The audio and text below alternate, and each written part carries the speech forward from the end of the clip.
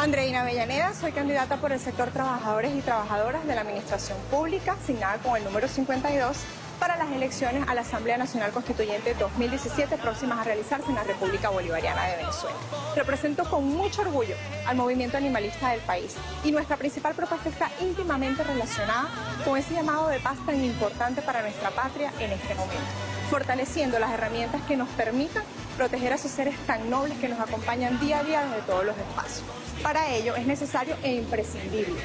incluir la condición de sujetos de derechos de los animales dentro de la Constitución, lo cual nos permitirá posteriormente establecer leyes con sanciones severas a quien genere situaciones de maltrato animal. Queremos invitar a todos los venezolanos y las venezolanas que tienen esa sensibilidad y que nos gusta escuchar a las aves volar y cantar en libertad para que nos apoyen con su voto este 30 de julio, porque la capacidad de amar es infinita y la constituyente sí va.